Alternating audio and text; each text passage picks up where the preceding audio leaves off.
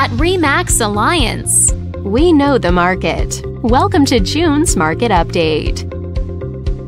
Let's take a look at residential real estate activity in your area during the month of May. The number of active listings was down 21% from one year earlier and down 10% from the previous month. This smaller inventory means that buyers who waited to buy may have had a smaller selection to choose from. As you can see, the median listing price for the month was $1.25 million.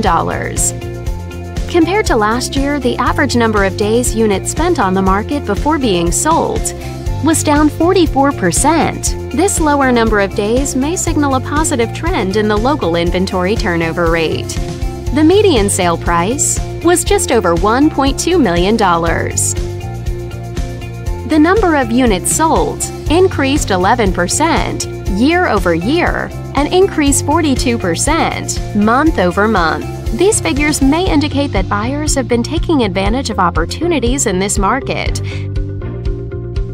This video is brought to you in cooperation with our partner. Thanks for watching. We hope you found this video helpful as you gather more information to make smart, informed real estate decisions. If you'd like more information or assistance, please click the button on the screen.